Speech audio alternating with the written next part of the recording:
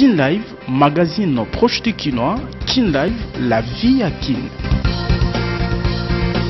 misa ya kotondo nzambe bina kolengelama na paroisse don bosco na depute national eli ya idiofa na kwilu dede mopasa oyo atondi baye banso bayebaki kopesa ye maboko mpe abengi bana idiofa ya kosimbana maboko na ntina ya kokende liboso.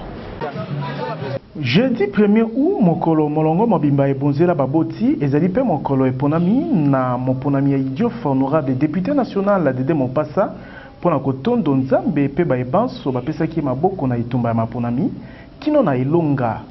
Misa ya kotondo Nzambe elengelamaki na bosenga na ye na paroisse Don Bosco ya Masina Petro-Congo Wapi na maloba na ye monganga Nzambe atondaki geste ya depute national Mopasa kolobaka ete moto oyo azongaka na eglezia mpo na kopesa Nzambe matondi akendaka liboso?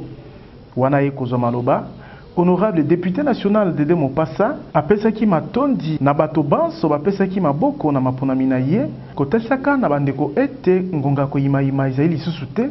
Pamba te bazwi moto oyo akobundela mpe akolobela bango. Mokonzi ya mboka Felix Antoine Tshisekedi apesa yango na loboko ya Nzambe.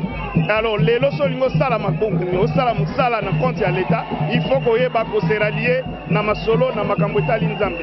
Yango omoni biso mpe lokola. Towuti na nulle part naloba politique ke lelo oyo na bitumba ya 16000 candidats tobima mpo na 500 candidats il faut to rendre grâce na Nzambe. Nazali canal babanga susu te ole ya kolobaloba koyimayima tosangana toyeba nini tokosala nazali disponible mpo na bango balukaluka te mongongo ya bana idiofa esengeli eyokana kasi na bolingo mpe bomoko Mpo ezali teritware monene, ezali maloba ya depute national Dede Mopasa liboso ya etuluku ya bato batondaki na milulu alengelaki mpo na kotalisa reconnaissance na ye na soutien ya bana Idiofa. Ba kinois ba accompagner biso, ba kinois ya biso, ezala ya parti politique na ngai, ezala ya association socio-culturelle na biso, ezala ba oyo basepelaka na oyo mpe Dede Mopasa asalaka, na ba oyo mpe bana bawuta na Idiofa bazalaka awa. Peut-etre pour la petite. histoire moi j'étais candidat awa na kati ya kinshasa balobi te awa te na tour oyo tolingi tomona yo kuna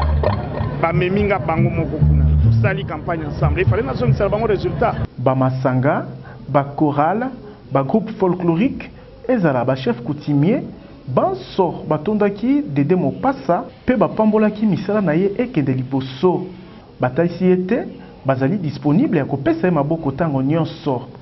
Tolobi, Tii bokoyoka.